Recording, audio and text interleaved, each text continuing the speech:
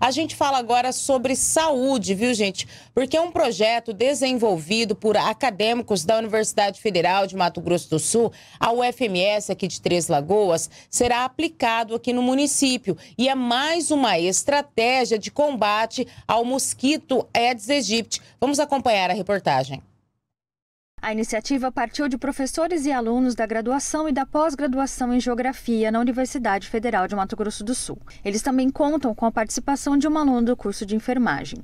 A orientação é do professor com pós-doutorado em Geografia Mauro Henrique Soares e da professora voluntária Marine Raul. Durante a pandemia da Covid-19, o mesmo projeto foi aplicado na cidade para mapear as localidades que mais tinham incidência de casos da doença. O objetivo é fazer o mesmo mapeamento para as arboviroses, que são as doenças causadas pelo mosquito Aedes aegypti, e também para leishmaniose. As áreas de maior incidência recebem a coloração vermelha, por isso o resultado principal é chamado de mapa de calor.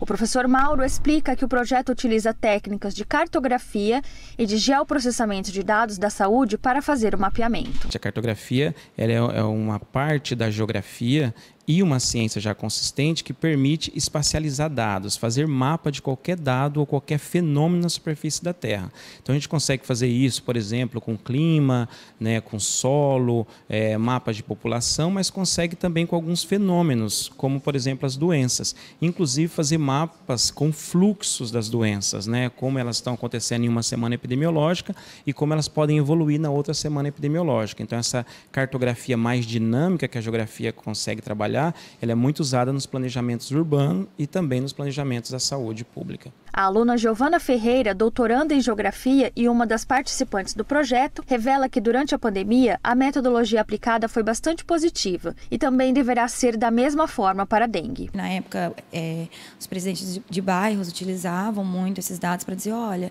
o bairro X tem mais contaminação do que o outro, né? Então vamos tomar cuidado para não correr o risco de se contaminar, né? Então, para poder evitar também o fluxo. E aí vai saber, por exemplo, qual bairro precisa de mais agente de saúde, precisa é, fazer a limpeza do bairro para poder diminuir esse a, a, a, contaminação da dengue, né? Eu acho que a universidade pública é isso, né? A gente tem que dar uma devolutiva para a sociedade, ainda mais porque recebemos um recurso, né?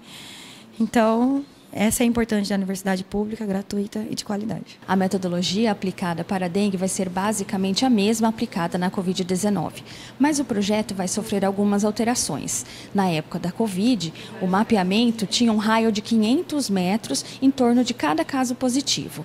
Agora o raio vai ser maior, em torno de 800 metros em cada caso positivo, porque é o raio de abrangência do mosquito Aedes aegypti. Além disso, a gente vai trabalhar também, além dos casos confirmados, com os focos da doença doença, que é muito importante. Então, para cada foco da doença, é, para cada foco de mosquito, 800 metros pode ser uma área suficiente para uma pessoa ser contaminada. Então, a partir do momento que a gente entende onde estão esses focos, a gente vai é, mapear quem está próximo e o que a população pode esperar ou agir para tentar minimizar os impactos dessa doença. A professora Marin atua de forma voluntária nessa iniciativa desde quando ela foi aplicada para a Covid-19. Ela acredita que, da forma como será desenvolvida, ficará mais fácil da população entender a divulgação de informações sobre a dengue. Permitir né, é, divulgar esses dados à população por meio da, da, dos mapeamentos é uma maneira mais é, mais fácil, mais acessível, né, da população poderem acessar esses dados que às vezes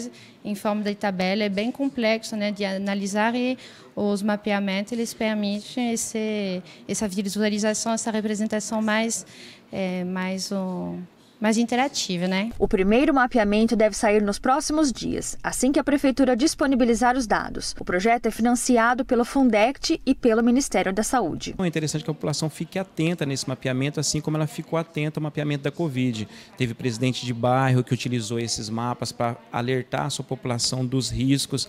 Então, a partir do momento que a população tem a noção de que o seu bairro está sendo acometido por focos, ele também vai poder controlar ou, ou aplicar estratégias para cuidar dos seus quintais também, para solicitar da prefeitura mais assistência e assim ajudar as entidades públicas a combater esse agravo à saúde que é a dengue, que todo ano vem causando impacto na sociedade.